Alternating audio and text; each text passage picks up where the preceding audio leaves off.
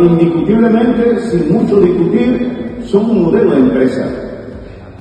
Hoy, como nos plantea así constantemente los organismos de integración latinoamericana, centroamericana, somos lo que hemos pasado sin problemas toda la crisis, toda la crisis que nos y compararnos que somos diferentes a cualquier tipo de empresa.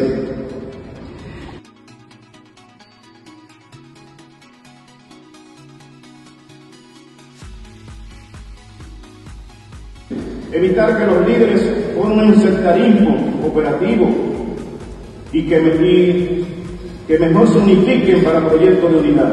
Pensar como cooperativista, pensar como una cooperativa actuar como cooperativista y actuar como una cooperativa y servir como una cooperativa y servir como cooperativista es nuestro compromiso.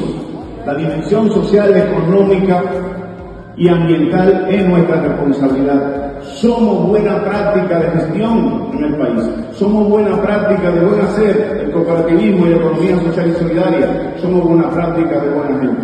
Muchas gracias y que Dios bendiga.